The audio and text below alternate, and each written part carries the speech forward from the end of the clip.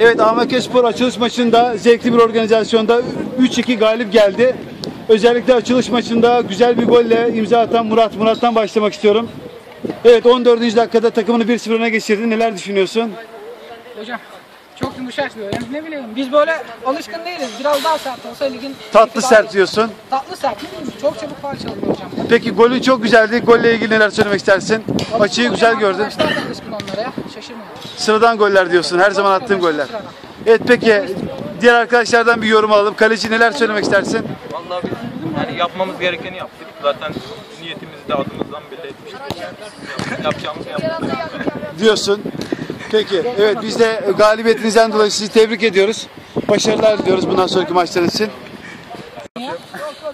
Evet yani takımın adından da belli olduğu gibi Amerika. yani Atletico Madrid kulübü. yani formalar da ona keza değil mi? Başka bir şey yok yani. Kimse yanlış yere çekmiyor. Peki başarılar diliyoruz Provoke arkadaşlar. ediyorlar bizi. Tamam. Siz aldırış etmeyin. Devam.